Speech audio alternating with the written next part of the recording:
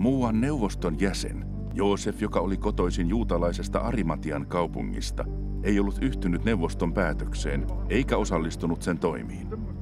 Hän oli hyvä ja hurskas mies ja odotti Jumalan valtakuntaa.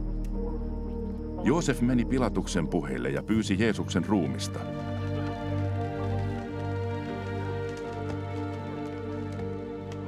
Hän otti sen ristiltä, kääri pellavavaatteeseen ja pani kallion hakattuun hautaan, johon ei vielä ollut haudattu ketään.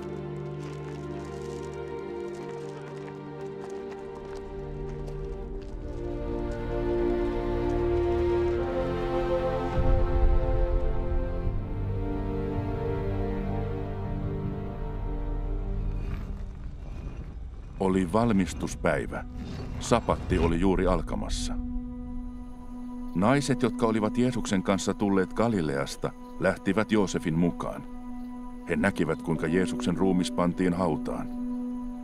Palattuaan kaupunkiin he hankkivat tuoksuvia öljyjä ja voiteita, mutta sapatin he viettivät levossa lainkäskyn mukaan.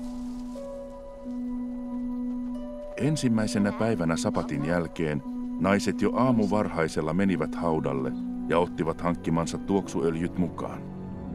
He havaitsivat, että kivi oli vieritetty haudan suulta.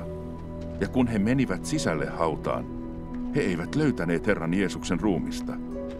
Kun he olivat ymmällä tästä, heidän edessään seisoi yhtäkkiä kaksi miestä sädehtivän kirkkaissa vaatteissa.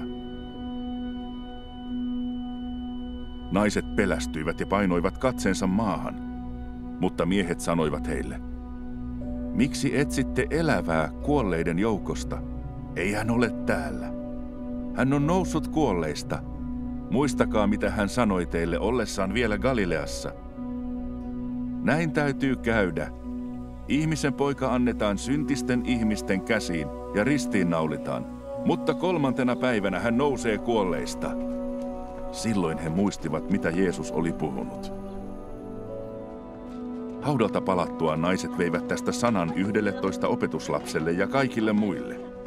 Nämä naiset olivat Magdalan Maria, Johanna ja Jaakobin äiti Maria, ja vielä muitakin oli heidän kanssaan. He kertoivat kaiken apostoleille, mutta nämä arvelivat naisten puhuvan omiaan, eivätkä uskoneet heitä. Pietari lähti kuitenkin juoksujalkaa haudalle. Kurkistaessaan sisään hän näki ainoastaan käärinliinat –